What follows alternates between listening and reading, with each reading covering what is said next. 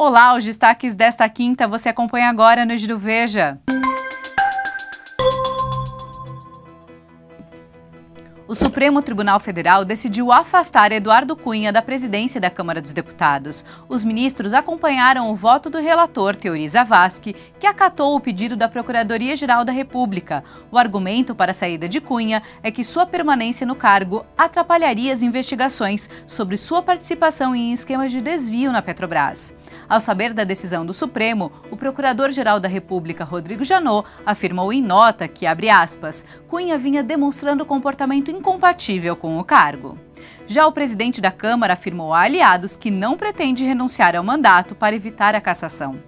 No esporte, o técnico da seleção brasileira Dunga convocou os jogadores que vão disputar a Copa América do Centenário.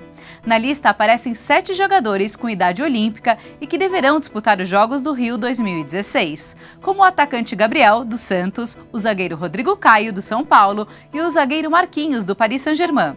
O Brasil começa sua preparação para o torneio no dia 23 de maio e estreia na competição no dia 4 de junho contra o Equador. Mais notícias você acompanha aqui em veja.com. Até mais!